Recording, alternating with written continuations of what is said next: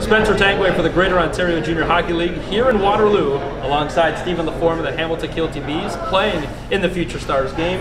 Steven, big news coming. We'll get to that in just a second. But talk me through your first half of the year being a 16-year-old in the GOJHL. Uh, I think it's great. Uh, the Kilty B's have welcomed me into their organization well.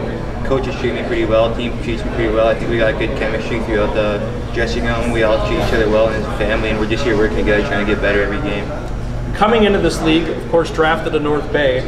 Your thoughts on how you kind of progressed and as a player, knowing you're a drafted player now, and how you want to keep that expectation high? Uh, you know what? I just try to go on the ice every practice, every game, get better, show improvement, work on the little things. Just try to move, move work this year to get to the next level, and that's what I try to do every all year. So big news coming now, signing a contract, go and he's committing to Merrimack. Your thoughts and how exciting is that for you to be able to commit to a D1 school like Merrimack?